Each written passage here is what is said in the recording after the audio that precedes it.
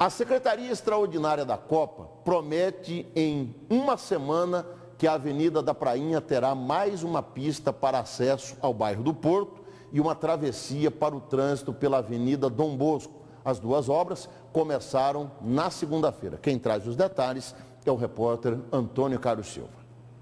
Uma das obras vai garantir duas pistas para automóveis no sentido centro-porto principalmente na curva da Avenida Prainha, próxima ao desativado ponto de ônibus da Central Estadual de Saúde. E quando foi feita a superposição do, do córrego aqui com a laje para a instalação do, da via permanente do VLT, o eixo do córrego naturalmente desloca um pouco para a direita, né, devido à aproximação aqui da, da curva. Então houve um estreitamento de, de, de pista aqui, nesse sentido aqui.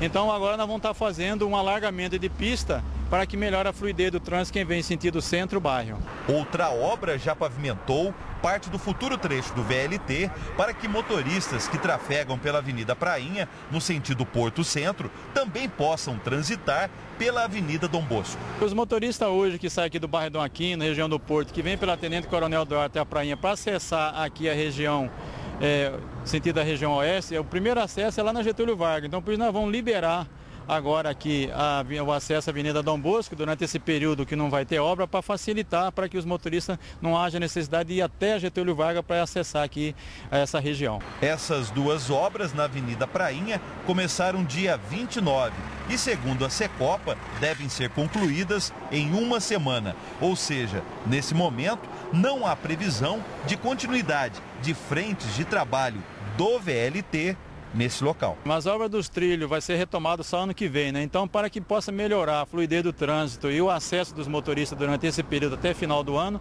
está sendo feita essas duas ações. Permitir o acesso novamente a Dom Bosco e o alargamento de pista aqui próximo aqui a 15 de novembro para que possa fluir o trânsito, principalmente beneficiar o transporte coletivo.